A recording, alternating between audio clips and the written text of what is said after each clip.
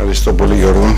Ευχαριστώ πολύ κύριε Πρόεδρε για τη στήριξη της σημερινής προσπάθειας, μιας προσπάθειας η οποία στην ουσία έχει να κάνει με τη χαμένη ευρωπαϊκή προοπτική των επιχειρηματιών και των εμπόρων στην Ελλάδα. Εγώ θα έλεγα ότι ήταν και μια στημένη παγίδα στη ραχουγαλιά αυτής της ελληνικής οικονομίας που τόσα χρόνια μας λέγανε. Πρέπει να συμφωνήσουμε όλοι ότι όσοι γεννηθήκαμε δεκαετία του 50 αλλά και σε όλη τη δεκαετία του 60 μεγαλώσαμε σε μια χώρα που πάσχιζε και αγωνιζόταν να λέγεται Ευρωπαϊκή. Θεωρούσαμε τιμή να πιστεύουμε αυτό το ανήκομενη στη Δύση. Ακόμα και τότε που τα ταξίδια και οι σπουδές στο εξωτερικό ήταν για λίγους και προνομιούχους. Οι υπόλοιποι καμαρώναμε σαν τα παγόνια για προϊόντα και υπηρεσίες από την Ευρώπη. Αλλά και για τις λιγοστές αναφορές, ελληνικές αναφορές στην Ευρώπη. Λίγο κρασί, λίγο θάλασσα και τα γόρι μου έλεγε το τραγούδι. Να περάσουμε το μήνυμα της λιτής μας καλοπέρασης σε μια χώρα που πουλούσε τις ομορφιές της στον εισαγόμενο τουρισμό. Δειλά-δειλά η φτωχή αλλά περήφανη Ελλάδα ταξίδευε και με γοργούς ρυθμούς έμπαινε σε μια αναπτυξιακή πορεία που την οδήγησε στην ένταξή της στην ευρωπαϊκή κοινότητα τότε, ανοίγοντας πλέον τους δρόμους για μια πραγματική ευρωπαϊκή προοπτική. Έτσι λοιπόν η γενιά εκείνης της εποχής που τον πόλεμο το γνώριζε από τις αναφορές των γονιών της και των παππούδων της, στα ντοκιμαντέρ της ΙΕΝΕΔ και τις αφηγήσεις όλων όσων γνωρέζησαν, έβλεπε τις δυνατότητες να ανοίξει τα φτερά της, τα επιχειρηματικά της φτερά και να απογειώσει τις δυνατότητες που μας έδινε αυτή η ευρωπαϊκή προοπτική.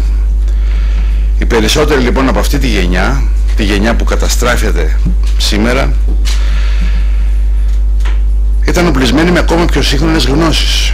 Διοίκηση επιχειρήσεων, γνώσεις οικονομικών, έβλεπαν λοιπόν τη δυνατότητα να επενδύσουν σε ένα ελεύθερο, δυναμικό και υγιές ανταγωνιστικό περιβάλλον που ήταν πλέον εδώ στην Ελλάδα. Σε αυτό συνέβαλαν και οι πανηγυρικές δηλώσεις πολιτικών.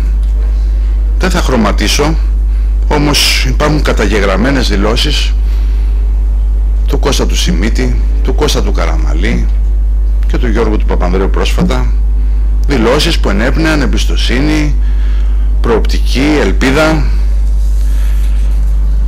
όμως εμάς μας παρέσυραν σε μια μάλλον επικίνδυνη και εκ του αποτελέσματος πλάνη, προφανή πλάνη. Σε όλο αυτό το διάστημα ο κάθε επιχειρηματίας που σεβόταν τον εαυτό του και ονειρευόταν μια επιτυχημένη αναπτυξιακή πορεία στο ευρωπαϊκό ελληνικό γίγνεσθε οργάνωσε τους πόρους του, κατάστρωσε βραχυπρόθεσμα και μακροπρόθεσμα επιχειρηματικά πλάνα. Προχώρησε με σεβασμό στα όνειρά τους, στους εργαζόμενους του αλλά και στους συνεργάτες του στην υλοποίηση αυτών.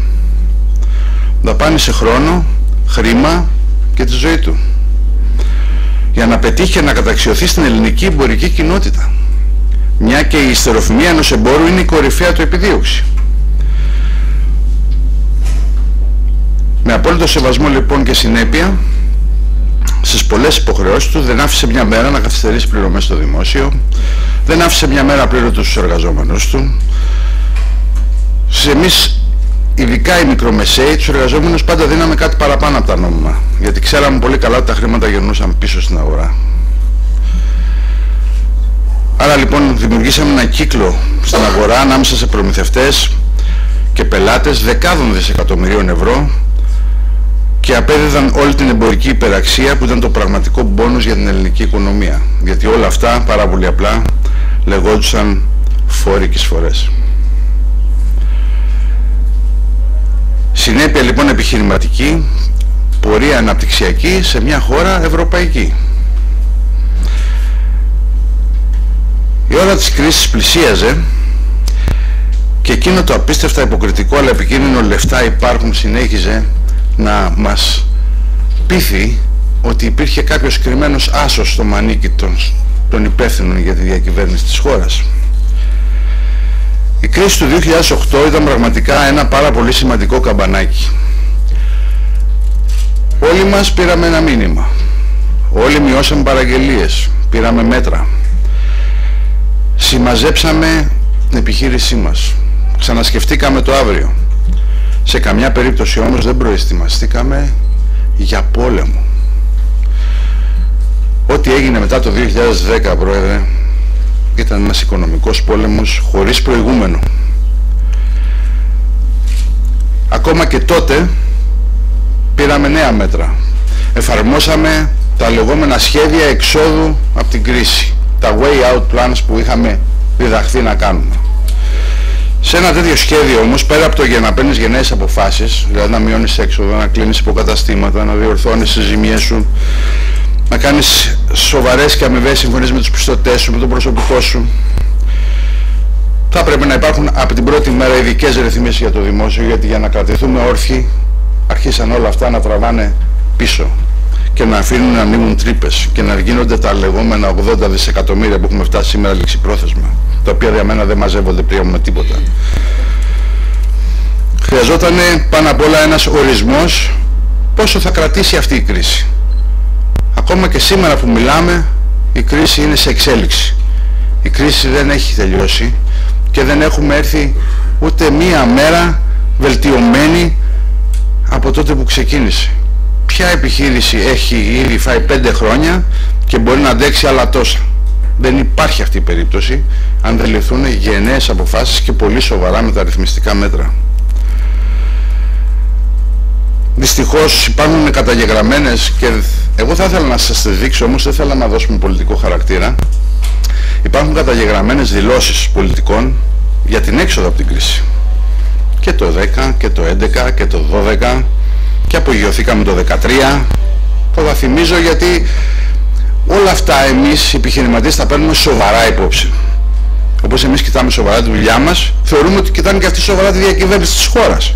Άρα λοιπόν τα λέει ο Υπουργός των Οικονομικών θα βγούμε από την κρίση το δεύτερο εξάμεινο του 12 ή θα απογειωθούμε το δεύτερο εξάμεινο του 13 και το είπε μάλιστα Πρωθυπουργός πάρα πολύ απλά το θεωρούμε ως σοβαρή δήλωση και όχι ως παραπλανητικά ψέματα. Δεν θα τους κρίνω εγώ, θα τους κρίνω ο ελληνικός λαός. Άρα λοιπόν τι απέμεινε στην προσπάθεια της διάσωσης όχι μόνο επιχειρήσεων αλλά και εξαιρετικά έμπειρων ανθρώπινων μονάδων που στο παρελθόν απέδειξαν ικανότητες, συνέπεια, συνέχεια, αξιοπιστία έργων και λόγων. Γιατί οι έμποροι αυτό έχουν και αυτό κάνουν. Άρα λοιπόν σε μια χώρα που αποδεδειγμένα βρίσκεται ακόμα σε μια κατάσταση κοινωνικού ευνηδιασμού και έκτακτης ανάγκης, γιατί αυτό συμβαίνει στην Ελλάδα, πρέπει οπωσδήποτε να δοθεί η λεγόμενη δεύτερη ευκαιρία, κάτι που το απαιτεί η Ευρωπαϊκή Ένωση και κάτι που στην πρόσφατη μελέτη που έγινε με εντολή της Ευρωπαϊκής Επιτροπής και θα σας δείξω τώρα λίγα στοιχεία ε, πάμε στο προηγούμενο ε, θα δείτε ότι η δεύτερη ευκαιρία όχι μόνο δίνει δυνατότητες για τους ανθρώπους που έπεσαν έξω χωρίς να φταίνει αυτοί αλλά δίνει δυστυχώς, δίνει ευτυχώς την δυνατότητα στην οικονομία να μην χάσει μονάδες παραγωγικές, έμπειρες που μπορούν να δημιουργήσουν ξανά και να δώσουν θέσεις εργασίας. Εδώ στον πρώτο κατάλογο το διαβάσατε σίγουρα, πάμε πιο μετά, είναι διάσημα ονόματα που πτώχευσαν πριν γίνουν σπουδαίοι. Όλοι αυτοί που είδατε πτώχευσαν αλλά μετά διέπρεψαν.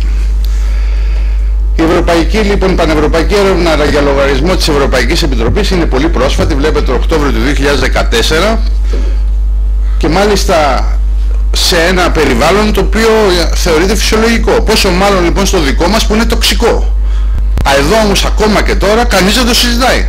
Για μας δεν υπάρχει. Εδώ λοιπόν θα δείτε τον αριθμό των πτωχεύσεων που αναφέρθηκε και ο Πρόεδρος. Ε, Γιώργο βοήθησε με λίγο. Η Ελλάδα λοιπόν βλέπετε είναι σε ένα νούμερο ευημερίας. Είναι πραγματικά συγκλονιστικό το πώς αντιμετωπίζει η πτώχευση στην Ελλάδα και πώς αντιμετωπίζει στη Γερμανία. Εντάξει, είναι και αντίστοιχες οι επιχειρήσεις, όμως σε καμία περίπτωση δεν έχουμε 415. Έχουμε κουκουλώσει το πρόβλημα λοιπόν, το έχουμε σκεπάσει και περιμένουμε ε, απλά να καταστραφούν κάποιες οικογένειες και είναι χιλιάδες αυτές οι οικογένειες, διότι Υπάρχουν πάρα πολλές επιχειρήσεις που μπορεί να είχαν επανεκκινήσει αυτή τη στιγμή και να είναι παραγωγικές, να έχουν δώσει θέσεις εργασίας και τι κάνουν, απλώς συντηρούνται γιατί κανείς δεν τολμάει να τις πτωχεύσει. Και όταν λέω κανείς δεν τολμάει εννοώ τις τράπεζες, διότι οι περισσότερες έχουν κόκκινα δάνεια, το δημόσιο, ακόμα και το δημόσιο το απειλητικό, πέρα από το να κατάσχει λογαριασμούς και να δημιουργεί χειρότερο πρόβλημα στην επιχείρηση γιατί πάει και τις κατάσχεται του λογαριασμούς, το ΙΚΑ ή η εφορία, άρα λοιπόν δυσλειτουργεί συνεχώς.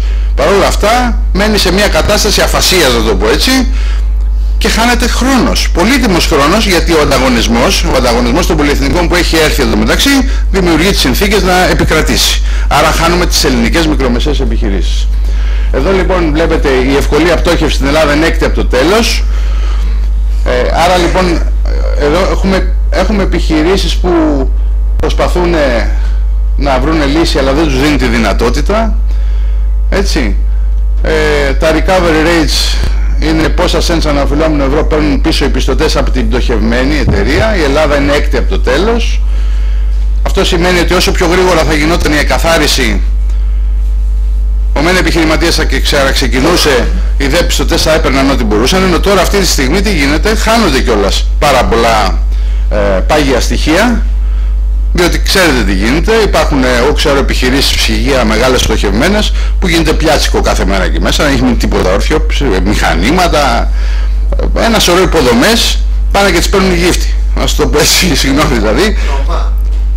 Ρωμά, ναι, συγγνώμη πρόεδρε. Λοιπόν, Άρα λοιπόν δημιουργούμε ένα περιβάλλον το οποίο δεν, δεν, δεν ωφελεί κανέναν. Λοιπόν, η περίοδος για πλήρη απαλλαγή από τα χρέη στην Ελλάδα είναι 150 μήνες, είναι τελευταία στην Ευρώπη και ενώ λοιπόν υπάρχουν αυτά τα στοιχεία τα οποία είναι το Οκτωβρίου του 2014 η ελληνική κυβέρνηση συνεχίζει να μην βλέπει το πρόβλημα, να μην θέλει να δώσει τη λύση να είμαστε όλοι λοιπόν σε, μέσα σε ένα τοξικό περιβάλλον και να μην μπορούμε να κάνουμε επανεκκίνηση. Η δεύτερη ευκαιρία λοιπόν, ε, βλέπετε εδώ τι απάντησαν οι Έλληνες υπεύθυνοι όταν ρωτήθηκαν από την αρμόδια ε, Επιτροπή για την έρευνα ότι δεν υπάρχουν λοιπόν μέτρα για τη δεύτερη ευκαιρία στην ερώτηση ποιοι οργανισμοί υπάρχουν για να αναλάβουν αυτό το θέμα δεν υπάρχουν αυτοί οι οργανισμοί. Ποια είναι τα κόστη που είναι involved που ε, λαμβάνουν μέρος, δεν μπορούσαν να απαντήσουν. Which are the most critical issues, ποια είναι τα πιο σημαντικά θέματα που αναφέρονται στο θέμα για να, να τα αναλάβουν επιτυχώς. Ε, βλέπετε ότι λέει ε, δεν μπορούν, δηλαδή δεν υπάρχει προστασία στον, ε, στον επιχειρηματία μετά το τέλος της ε, πτωχευτικής περίοδου. Ε, έτσι, δηλαδή, όχι, δεν είναι ισόβια μόνο για τον επιχειρηματία, είναι και για την οικογένεια του επιχειρηματία, είναι, δηλαδή δεν υπάρχει διέξοδος. Άρα έχουμε έναν άνθρωπο ο οποίος με μυαλό επιβαρημένο, με δικαστήρια, με, ανοιχτά, με ανοιχτές πληγές, να μην μπορέσει να ξαναξεκινήσει ποτέ. Λοιπόν, εγώ πιστεύω ότι η δεύτερη ευκαιρία πρέπει να το αγκαλιάσουμε όλοι μαζί, πρέπει να στείλουμε το μήνυμα παντού, είναι χρέος και των πολιτικών κομμάτων, Δυστυχώς λυπάμαι πάρα πολύ που μέσα στις γιορτές χάνουμε για μία ακόμη φορά η μικρομεσαίη την αγορά διότι αυτό γίνεται πια επί πραγματικού ο κόσμος δεν θα έχει το μυαλό του να κάνει αγορές χριστουγεννιάτικες αλλά θα σκέφτεται αν θα έχουμε πρόεδρο δημοκρατίας όμως και η Ελλάδα πρέπει επιτέλους να πάρει ένα σωστό και πραγματικό δρόμο που να αφήσει την ιδιωτική οικονομία να διαπρέψει γιατί η ιδιωτική οικονομία θα μας βγάλει από την κρίση και κανείς άλλος. Σας ευχαριστώ πολύ. Thank you.